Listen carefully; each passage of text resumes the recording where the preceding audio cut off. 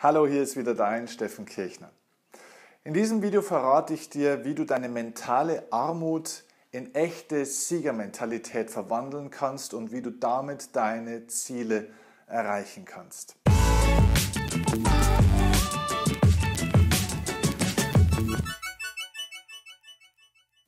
Wenn man sich dieses Wort Armut mal anschaut, dann muss man feststellen, es besteht eigentlich genau genommen eigentlich aus zwei Wörtern. Denn wer an Armut leidet, ist arm an Mut.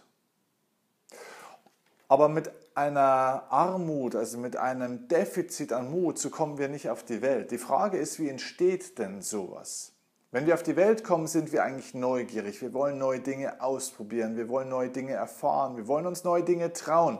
Aber dann irgendwann kommen manche Menschen in unser Leben und würfeln sozusagen unsere Buchstaben durcheinander. Das, was du gesehen hast mit dieser Armut, diese Aneinanderreihung von Buchstaben, das ist nicht das, was eigentlich unserer Natur entspricht. Aber wir haben zu oft Sätze gehört wie, das kannst du nicht, das geht so nicht, das ist zu verrückt. Überleg doch mal, wo du herkommst, sei doch mal normal, pass auf, das geht so nicht. Habe ich dir doch gesagt, dass das nicht so geht, lass mich das machen, das schaffst du nicht. Und, und, und. Und so entsteht auf einmal dieses Durcheinander im Kopf, dass man dann eben, wie gesagt, unter Armut leidet.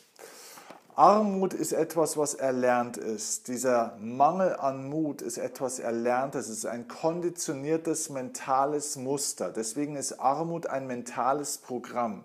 Deswegen nenne ich es mentale Armut. Denn es gibt auch natürlich eine materielle Armut. Und die Frage ist, was ist denn eigentlich unser Ursprung gewesen? Ich habe ja vorhin schon gesagt, wer unter Armut leidet, dem sind irgendwann mal verschiedene Buchstaben durcheinander gewürfelt worden. Also es sind bestimmte Dinge im Kopf verändert worden, bestimmte Programme.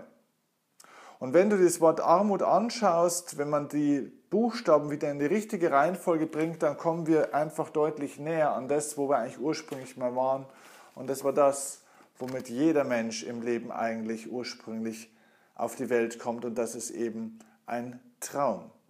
Wir sind alle mit Träumen auf die Welt gekommen und wenn man Menschen Träume ausredet, wenn man Menschen ja im Endeffekt desillusioniert und ihre Träume zerstört durch diese ganzen negativen Bullshit-Sätze, durch diese mentale Kommunika äh, Kommunikation und Konditionierung, dann wird aus einem Traum durch dieses Durcheinander im Kopf irgendwann Armut. Denn Wer unter Armut leidet, ist nicht nur arm an Mut, sondern eben auch arm an Träumen. Jedenfalls an dem Mut, seine Träume zu wagen.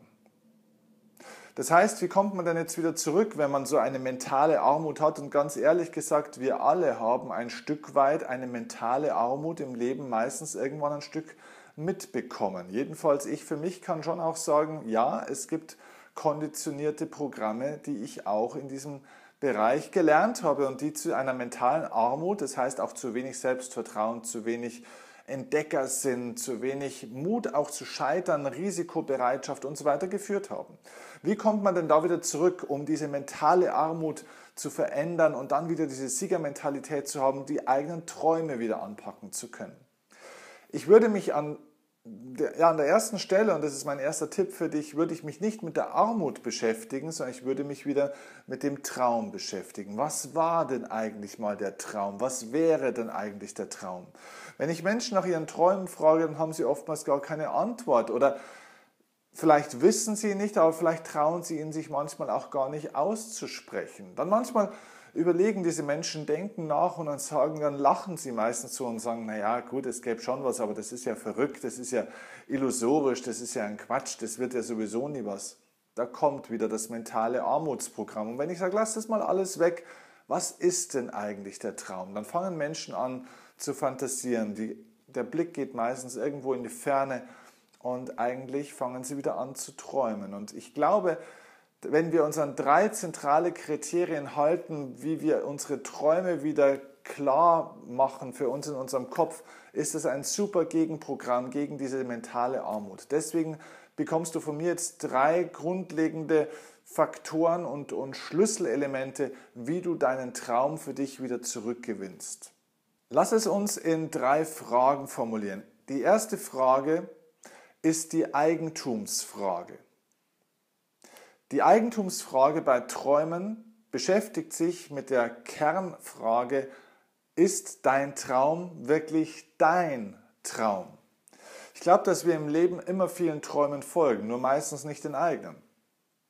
Entweder nur den Träumen, die andere Menschen haben und wir versuchen anderen zu helfen, dass sie ihre Träume leben oder verwirklichen können, oder manchmal passiert es auch, dass wir versuchen, einem Traum nachzulaufen, wo wir glauben, es wäre unser Traum, aber eigentlich haben wir den Traum unserer Eltern übernommen. Wie oft kriege ich das mit bei Kindern, die irgendwann sportlich erfolgreich werden wollen, nur weil der Papa auch mal gern sportlich erfolgreich geworden wäre, aber nie geworden ist, aus welchen Gründen auch immer. Und das gilt natürlich genauso auch für die Mama, für die Großeltern, für wen auch immer. Das heißt, wir folgen oftmals nicht unseren eigenen Träumen, sondern Träumen, die wir uns von anderen haben ein reden lassen. Also frag dich als allererstes die Eigentumsfrage.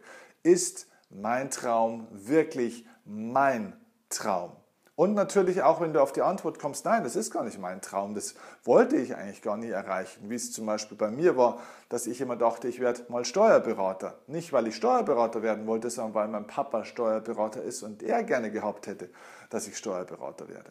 Das heißt, wenn du irgendwann erkennst, wow, es war gar nicht mein Traum, es war der Traum von jemand anderem, dann musst du entdecken, okay, was wäre denn eigentlich mein Traum? Wenn die Meinung aller anderen egal wäre, wenn mir keiner reinreden kann, was ist mein Traum?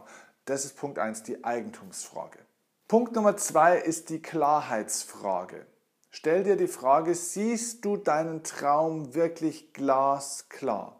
Das heißt, wenn ich einen Snapshot von dir wollen würde, also einen Schnappschuss, ein Bild, eine, eine Headline, also wie, wie das Titelbild auf einer Zeitschrift oder auf einer DVD, auf dem Cover, was wäre das für ein Bild, das deinen Traum im perfekten Endzustand sozusagen symbolisiert und zeigt?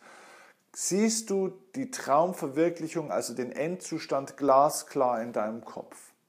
Es gibt einen schönen Satz, der heißt, wenn du einen Traum erreichen willst oder wenn du ein Ziel erreichen willst, musst du schon mal dort gewesen sein.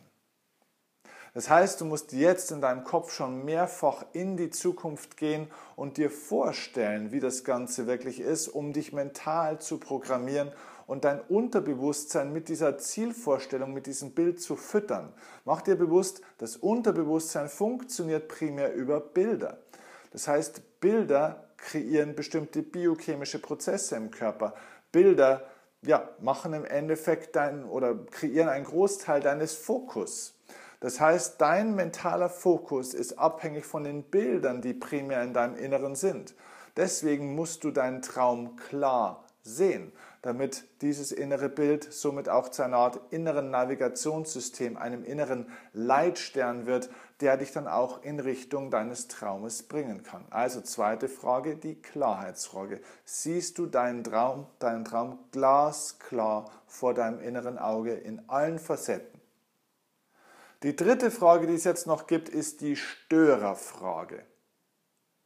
Die Störerfrage ist entscheidend, denn es gibt eine wichtige Erkenntnis, die ich über die letzten Jahre in der Arbeit mit vielen Profisportlern, Topunternehmern und Stars aus der Showbranche gemacht habe, die Träume hatten und auch ihre Träume teilweise schon gelebt haben. Und da habe ich festgestellt, es scheitert nicht am Potenzial der Menschen. Die meisten Menschen stellen sich die ganze Zeit die Frage, kann ich genug, weiß ich genug, bin ich genug? Sie stellen sich die Potenzialfrage, habe ich überhaupt genügend Möglichkeiten und Potenzial, genügend Fähigkeiten? Es scheitert nie am Potenzial auch, auch nie am Talent. Die erfolgreichsten Menschen der Welt sind oftmals nicht so talentiert. Sie sind mäßig talentiert. Aber das, was diese Menschen alle gemeinsam haben, ist, dass sie die Störfaktoren ausgeschaltet haben. Überleg dir, was sind die Störer meines Traumes? Was sind die Störfaktoren? Es geht im Leben nicht darum, dass du dein Potenzial die ganze Zeit noch weiter erhöhst, sondern es geht um die Frage, welche Störfaktoren sorgen dafür, dass das Potenzial, das du hast, das ausreicht, um deinen Traum zu verwirklichen, dass das Potenzial, das du hast, nicht entfaltet werden kann. Das Problem ist nicht das Potenzial, das Problem sind die Störfaktoren. Störfaktoren sind zum Beispiel negative Menschen. Störfaktoren ist zum Beispiel zu wenig Geld. Störfaktoren ist zum Beispiel zu viele Leute, die zu viel von mir wollen. Störfaktoren sind zum Beispiel, ich habe ein schlechtes Zeitmanagement. Und, und, und. Es gibt unglaublich viele Störfaktoren. Überleg mal, welche Störer es gibt, die dich von deinem Traum abhalten und eliminiere Schritt für Schritt diese Störfaktoren. Und wenn du jetzt erstens deinen Traum verfolgst, diesen Traum ganz klar siehst und die Störer auf diesem Weg dorthin ausschaltest, dann wirst du sehen, wie der Mut wieder zurückkommt und aus der Armut auf einmal richtiger Mut wieder wird, der deinen Traum in die Realität ziehen wird. Und wenn du dir jetzt die Frage stellst, ja, aber wie kann ich denn diese Störfaktoren erkennen? Wie kann ich sie ausschalten? Wie kann ich mich in meinem Kopf mental und auch emotional in meinem Herzen wieder umprogrammieren, sodass ich endlich mein Traumleben selbstbestimmt verwirkliche und das, was ich im Leben will, in mein Leben ziehe?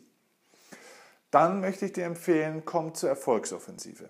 Die Erfolgsoffensive ist ein zweitägiges Kennenlernseminar von mir, ein Erfolgsseminar, wo wir genau diese ersten Schritte gehen, damit Menschen die Störfaktoren Schritt für Schritt in ihrem Alltag ausschalten können, sich umprogrammieren können und sich vom Leben das holen können, was sie wirklich wollen. Ein selbstbestimmtes, freies Lebensgefühl. Komm unbedingt in dieses Zweitagesformat, denn in diesen zwei Tagen lernst du wie im Zeitraffer. Denn erstens mal bekommst du eine ganz klare Struktur, wie du das alles machen kannst. Zweitens kriegst du beim Seminar schon die ersten Schritte mit, sage ich jetzt mal. Also das heißt, das bedeutet, dass wir beim Seminar schon die ersten Schritte machen. Du bekommst also, du gehst schon auf den Weg, du wirst von uns auf die Schienen gesetzt und bekommst praktisch dieses erste Wissen und die Überwindung der ersten Schritte einfach schon mit. Das heißt, Du bist schon im Prozess, nachdem du bei diesem Seminar warst. Und du weißt, das Schwierigste beim Seminar ist immer das Anfangen, beziehungsweise wenn du einen Veränderungsprozess, einen Zielprozess hast und du willst starten, das Starten ist das Schwierige. Wenn du mal zwei, drei Schritte gegangen bist, dann läuft das Ganze. Und beim Seminar bekommst du neben dem Wissen auch schon den Startschuss. Und natürlich lernst du einen Haufen tolle Menschen kennen, die auf diesem Weg dich unterstützen werden und die auch du unterstützen kannst. Geh einen Weg immer mit anderen zusammen. Wenn du also kommen willst zur Erfolgsoffensive, freue ich mich. Dort bekommst du noch deutlich mehr Kriterien, wie du deinen Traum definieren kannst, wie du ihn in dein Leben ziehen kannst. Insgesamt gibt es äh, neun, neun Faktoren, so viele Finger habe ich fast gar nicht. neun Faktoren, die drei wichtigsten habe ich dir jetzt mal erst mal gesagt. Fang damit an, schreib das Ganze auf, visualisiere das Ganze, schalte die ersten Störfaktoren auf, aus und dann komm zur Erfolgsoffensive und lerne den Rest, den du brauchst, um richtig Geschwindigkeit aufzunehmen, um deinen Traum im Leben zu verwirklichen. Also, dabei wünsche ich dir viel Erfolg und viel Spaß und viel Freude und vergiss nicht, diesen Kanal zu abonnieren, denn es gibt noch sehr viel mehr Content, den ich in der nächsten Zeit für dich habe. Und es gibt auch schon ganz viele Videos, wo ganz viel Content kam. Teile diese Videos und schreib mir unbedingt deine Erfahrungen und deine Meinung unten jetzt in die Kommentare rein. Lass uns austauschen über das Ganze. Viel Spaß und bis zum nächsten Mal. Ciao, dein Steffen Kirchner.